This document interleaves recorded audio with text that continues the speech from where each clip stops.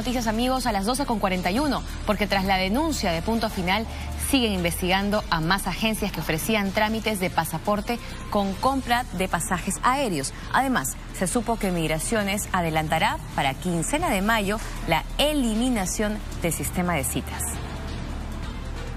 Igual, este, según, a ver, la municipalidad, ¿tiene permiso para realizar esta actividad? Ninguna. No, no tiene permiso para hacer este servicio.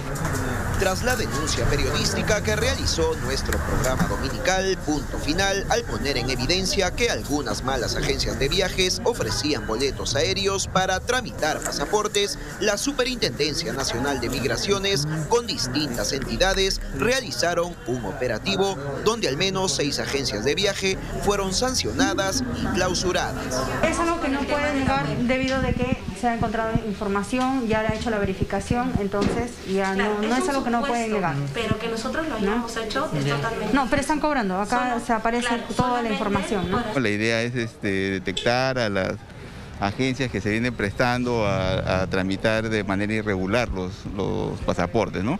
Este, y esto afecta obviamente a toda la operativa del sistema de migraciones y también a los ciudadanos que realmente necesitan viajar, porque hay personas que tramitan esto con urgencia y en realidad no viajan.